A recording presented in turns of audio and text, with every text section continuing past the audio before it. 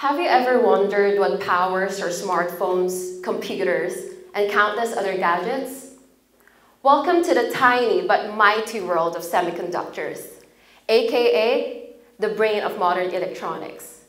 Without semiconductors, we lose the digital magic that powers our everyday lives. Now imagine a massive game of tug of war happening in the world of politics.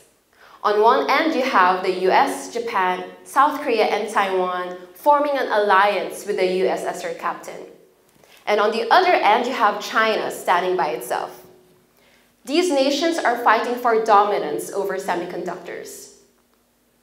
Threatened by China's economic strength, the US initiated a trade war in 2018, targeting Chinese entities like Huawei and reducing exports of high-tech AI chips to China.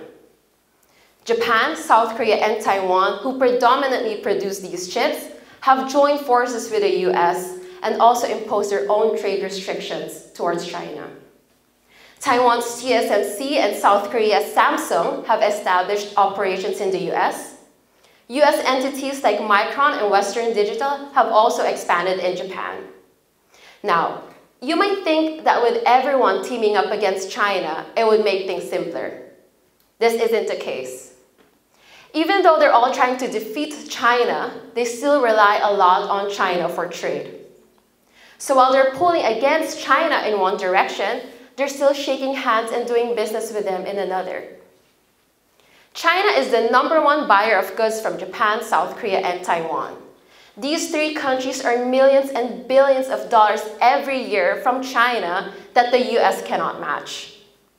So despite six years into the trade war and extensive US trade restrictions, my research reveals that Northeast Asian trade not only increased, but even exceeded pre-trade war levels, deeming the US-led semiconductor alliance ineffective.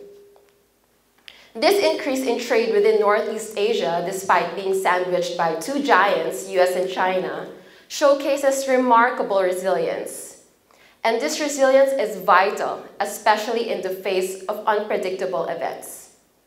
COVID-19, Russia-Ukraine war, Israel-Palestine war, all of these things wreaked havoc in just a mere five-year span and counting.